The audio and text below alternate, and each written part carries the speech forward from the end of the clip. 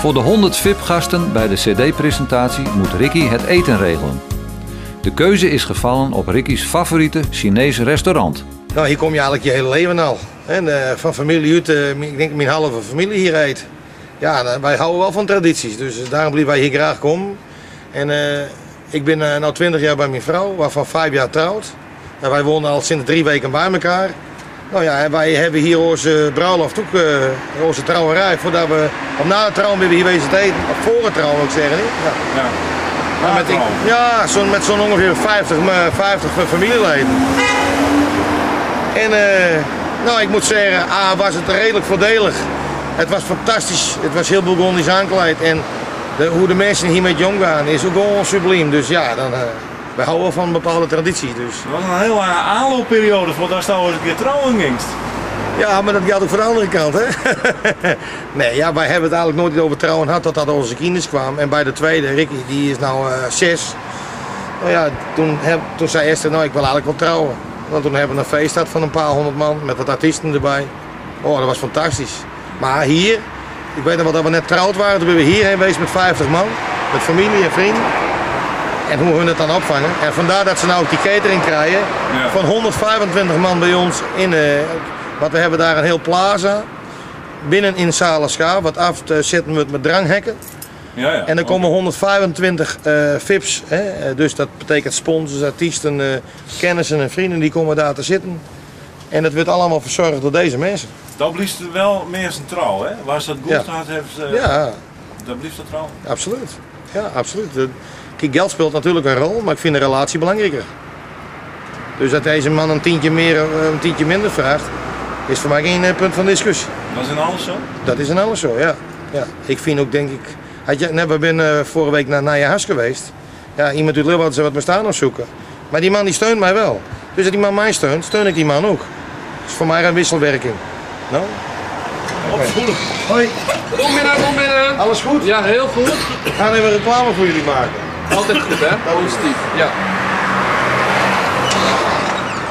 Maar we gaan even naar binnen. Met die man eh, die gaat kwam. Nee, het valt niet.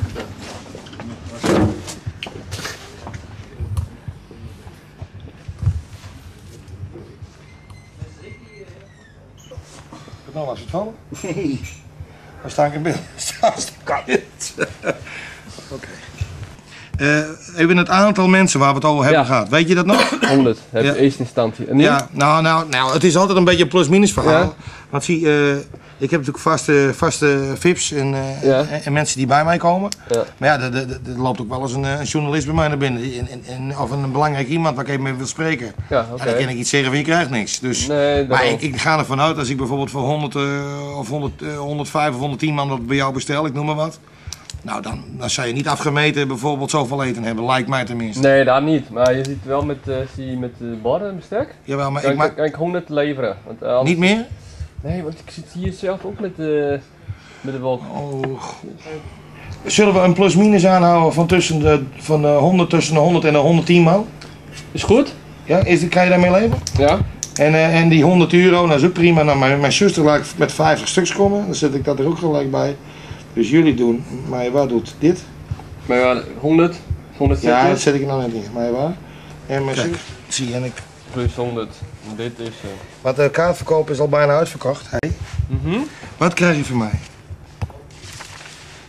Dit is die, eh, die borden. Ja? 100, dat is zeg maar 110, dat is dan ruim voldoende voor 120 tot 125 mensen. Maar eh, die, die 100 personen kosten me. Oh ja, 100, ja, ik snap hem. Ja, Je hebt ja. 10 ja, meer. ja, ja, ja, je hebt 10 meer. Want jij, jij, misschien verwacht je meer. Nee, Oké, wacht even. Hey, Ik zet erbij voor plus minus Ja. eh, 125 personen. Ja? wacht even. Zoiets. Nou, hoop ik wel een goede stapeltje bij ben. nou, het komt even goed op. 200 stapeltjes dan. eh, Nou, ik, ik inhoud natuurlijk de laatste paar dagen die, eh, die, die voorverkoop. En eh, nou ja, dat gaat natuurlijk behoorlijk goed. Dus die voorverkoopadressen die mij dat geld weer inleveren, breng ik weer gelijk weg. Want wat moet ik met dat geld? Zie je, al die, hè? nee, al die toeleveranciers moeten toch betaald worden. En dat het nou nu is, dat is volgende week. Staat maar niet uit hè? Nee. En eh hun kennen mij, ik ben, er- tenminste zo ben ik, ik, eh, ik hou ervan. Ik eh, zie, dus 1, 2, 3, 4, 5, tel even. Ja. En je moet 600 hebben. De helft. Ja? Ja, dat is klaar. Oké. 1, 2, 3, 4, 5, 6, 7, 8, En, eh, en de rest kom ik een dag of, of twee dagen later bij jou brengen. Want ik denk dat ik de maandag daarna behoorlijk verrot ben. Dus eh dat moet je maar even. eh, maar dat komt helemaal prima voor elkaar. dinsdag, woensdag. Maar je kan het ook wel eh, dezelfde dag denk ik van mij krijgen hoor. Als, je, mij, als je me alles geleverd hebt. Het menu Ja? Zou ik heel leuk vinden. Maar dan denk ik ook even aan jou. Ja? Ik weet niet of dat te realiseren is. Dan moet je mij, eh, als het niet kan, dan kan het niet. Maar het lijkt mij leuk. Kijk, ik heb gereserveerde tafels. Hè. Iedereen Ja. krijgt een bepaalde tafel. Oké. Het lijkt mij leuk om op een kaartje te laten zien wat er, die, wat er komt. Is goed? Ja. Hoe vind je dat? Ja, is goed. Vind je dat leuk? Ja. Nou. Wie maakt die kaartjes? Ja.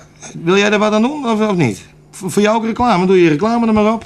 Wat vind je ervan? Eh, ik, eh, Dan hoef ik, ik- maar luister, ik heb, maar ik heb 25 tafels, dus het gaat om eh, 25 het, het, kaartjes. het idee, het idee is goed. Alleen Ja. ik kan alleen op zo'n A4'tje doen. Niet, niet, eh Nee, dat eh, hoeft niet super. Nou, niet kijk, staand ding. ik heb connecties zat. Ja. Dus denk ik van, ik zet even iets, iets ik, heb, ik, ik maak even iets. Ja? Ja, dan breng ik het wel even weg. En laten we dat even op een, eh, op een dikke, op dik materiaal even drukken. Een Oh, dubbel, dat is goed, is dan goed. wil ik eigenlijk een A4, laten we het zo zeggen. Een A4 dubbel gevouwen neerzetten. Ja. Vind je dat niet leuk? Ik bedoel, een met jouw logo erop. Leuk idee. Dus voor 25 ta- nou, dat, nou dan de maar maar, voor- dat, dat, dat regel jij dan? Of, of, als je, als je, Ja, ik, ik moet ons zoveel regelen. Nee, het is echt fijn. Hé hey Ricky, eh, heeft flink wat eten besteld. Gelukkig Ja. dat ze zelf niet hoe ze komen. Ja, ik hoop niet dat ik het allemaal in tasjes met krijg. Al in witte bakjes. Nee, maar die, die, die, die mensen zijn grandioos toch, of niet? Ja, zeker. Net eh, wat we buiten de auto zaten, dat ben ik ook gewoon heel anders. Dat vind ik fantastisch. Ben ik gewoon hele gewone jongens. En eh, als je ook binnenkomt, ja, het is wel geen familie, maar eh je hebt wel dat familiegevoel bij die mensen. Dat vind ik mooi. Ja.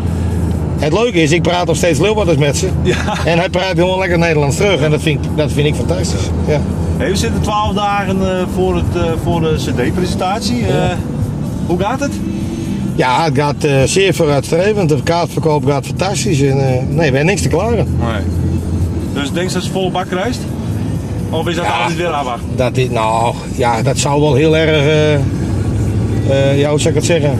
Ja. Ja, ik, ik, ik, ik kan niet zeggen dat het wel gebeurt, maar het, liekt er, het begint er wel op te lieken. Ja. Dus eh, ja. Maar eh, ja, het is toch het is toch spannend, hè? En wat we net ook al zeiden, eh, ja, de zenuwen misschien wat. Nou, zenuwen, het, eh, je raakt wat meer nerveus van bepaalde dingen. Niet dat er iets misgaat. Nee. Maar neem maar bijvoorbeeld het draaiboek van Ja. alle artiesten. Want ik heb er 35 uitnodigd, Oh. of 35 acts. Maar dat ben er intussen al 38.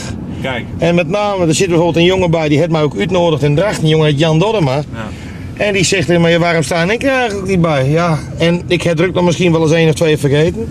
Nou, en Butterfly was ik bijvoorbeeld ook vergeten. Nou, nogmaals mijn excuus Butterfly, maar dat heb ik ze al persoonlijk gedaan. Maar die staan er ook bij en die ben toch met drie personen. Ja. En eh, dan heb ik nog een jongen die neemt bij mij in de studio wat op. Die heet Elias, die komt er ook bij. Dus Ja. niet, het binnen dus geen eh, 35, maar er komen in principe 38 artiesten. Ja, maar die moet je dus op twee podiums kunnen weten te verdelen. Ja. En iedereen wil toch een gelijkwaardig behandeld worden. Dus het is op, op zich best ingewikkeld. Loop je rond daar. Ik denk dat ik eh, in, die weekend, in het weekend, eh, eh, nou, ik denk dat ik in het weekend makkelijk eh 60 uur kan draaien. Poeh. Van maandag tot vrijdag, van maandag tot, of van, eh, van vrijdag tot en met eh, maandag dan. Mhm. Ja. Maar ja, is ook weer een uitdaging, hè? Ja. Dus, eh, nou ja, alles, hè? zo is alles een uitdaging. Dankjewel.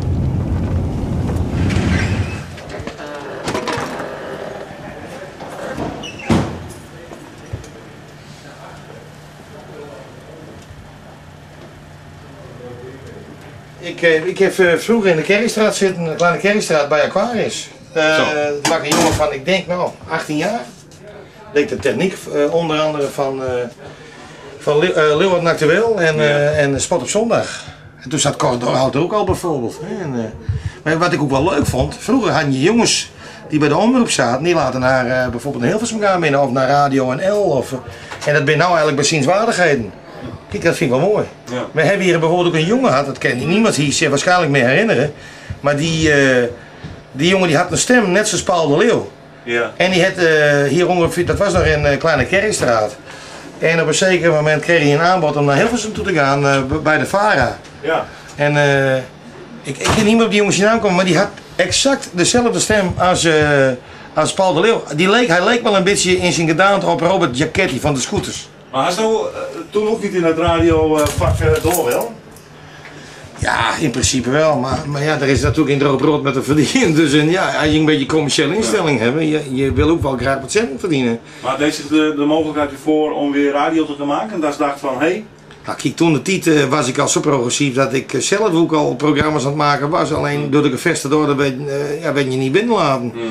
En, en ja, kijk, eigenlijk, eh, het is ook wel wat mijn moeder laat zei. Eh, vroeger wou ik een brommer, eh, kreeg ik een brommer, maar dan zag ik alleen, was ik eigenlijk met de auto bezig. Nou, dat- maar dat heb ik eigenlijk overal. Met, ik ben nou hier. Nou ja, wij hebben daar hele, wel hele grote en, en leuke discussies over gehad. Maar zo denk ik eigenlijk hier ook. Maar ja, ik ben hier natuurlijk geen baas. Dus ik, ik kan binnen mijn eigen norm van mijn eigen programma me bewegen. En dan heb ik ook een volledige vrijheid in. Dat is natuurlijk grandioos. Hè?